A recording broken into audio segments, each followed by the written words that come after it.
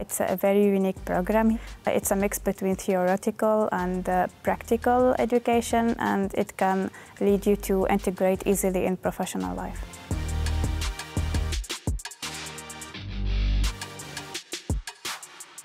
Part of my postgraduate is to do an internship. I choose to do an internship in a company that produce uh, and manufacture machine for chocolate companies. My project was about to build a sprinkling machine, starting from market studies, feasibility of the project, uh, the budget, designing, and also prototyping of the machine. I chose this program because it's out of my comfort zone. It's something you have to be creative. You can choose the courses that you want. I choose courses that can uh, build my skills in entrepreneurship. I love Hasselt a lot. Everything is available, starting from nightclubs to uh, restaurants, sports, to uh, coffees, to shops. Everything you want, you can find it in Hasselt.